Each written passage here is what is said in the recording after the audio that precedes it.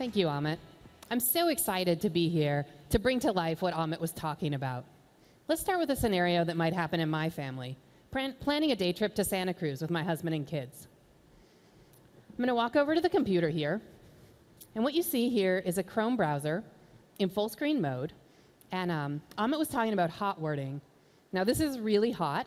We just took it off the press this morning, and I've actually never tried hot wording in a room with so much ambient noise. Um, so, no hands. Okay, Google, show me things to do in Santa Cruz. Here are popular attractions in Santa Cruz.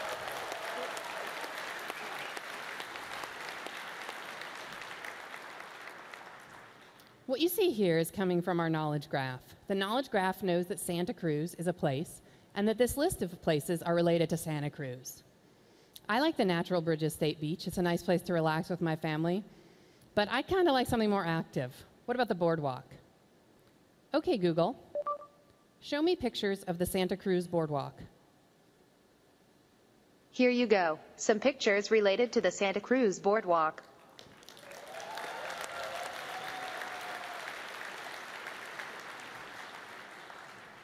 Nice. I love a wooden roller coaster, so does my husband. Be nice to see if our kids like it too. The only question is will the drive be too long? Okay, Google. How far is it from here? The drive from your location to Santa Cruz Beach Boardwalk is 73.9 miles.